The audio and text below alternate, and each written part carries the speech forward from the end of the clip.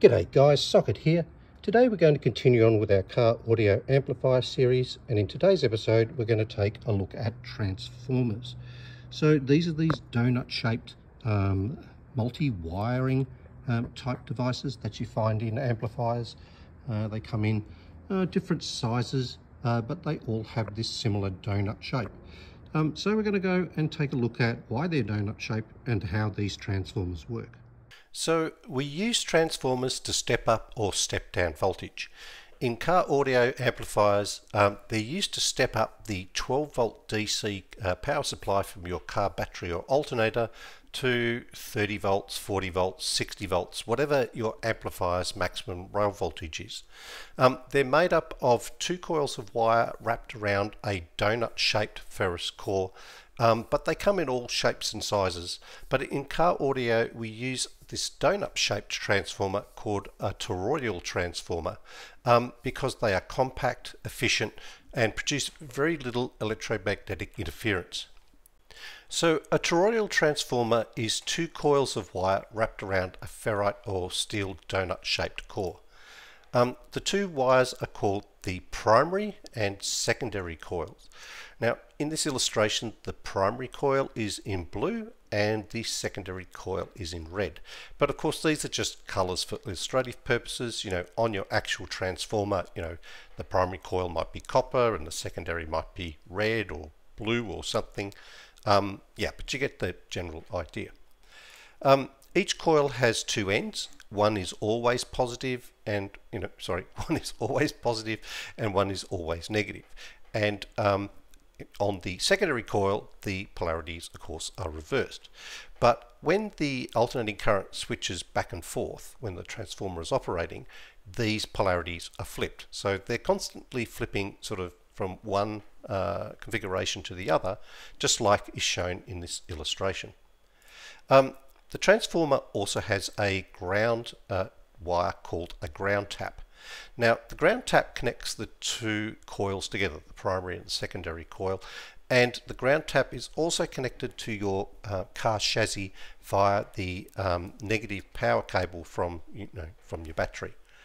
Um, so when um, electric current is passed through the primary coil, right, so it's pushed and pulled in and out like this, um, what it does is it creates a magnetic field in the uh, in the primary coil and it follows the windings that are sort of wrapped around this, you know, the donut shaped core.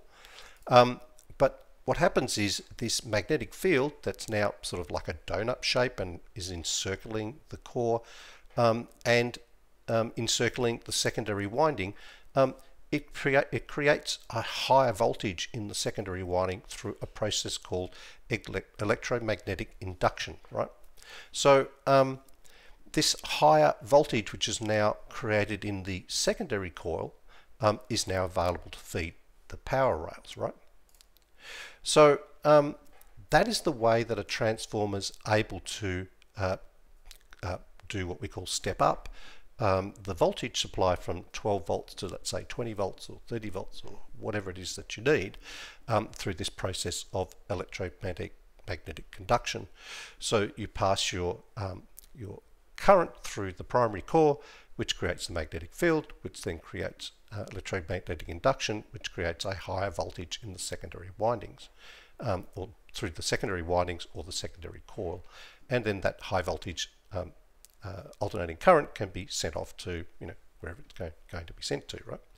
Um, but we can control the amount of um, step up or step down in the voltage by um, changing the number of windings that uh, are in the secondary coil. So if the secondary coil has less windings than the primary coil, then the voltage will step down. So it'll go from 12 volts to 8 volts or something like that. And if the secondary winding has more, secondary coil has more windings than the primary coil, then the voltage will step up. So, you know, we'll go from 12 volts to 20 volts, for example, right?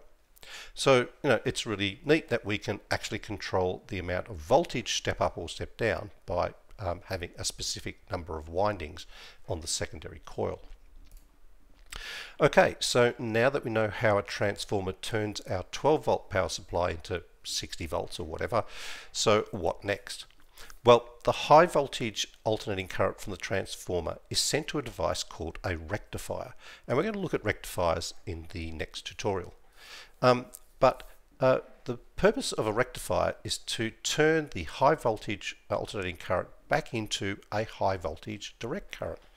Um, but why do we go from 12 volts DC to say 60 volts alternating current and then back to 60 volts direct current again?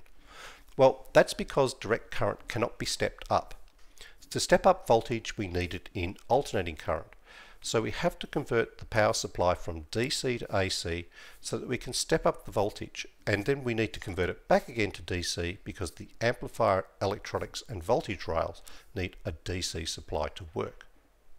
So how do we create the alternating current that we need to step up the voltage? Well, that's the job of the MOSFETs that we talked about in the transistor tutorial.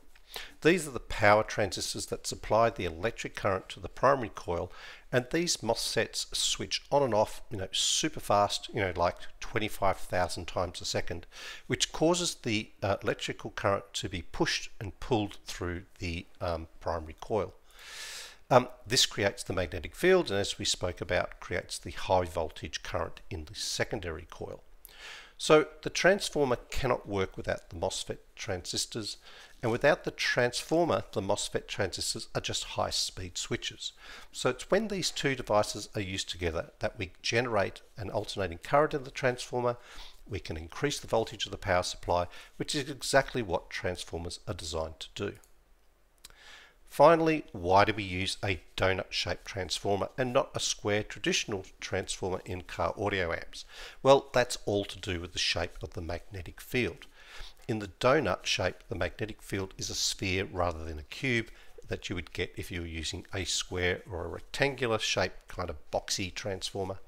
And therefore the donut or sphere produces a far less uh, electromagnetic interference that otherwise would show up as buzzing or hums and other things in our audio signal. So who knew? So there you go guys. That brings us to the end of today's tutorial on uh, transformers. In the next episode we're going to look at rectifiers and how they work. So I hope you enjoyed today's uh, uh, tutorial. If you've got any questions as always pop them down below. But otherwise I will catch you in the next episode.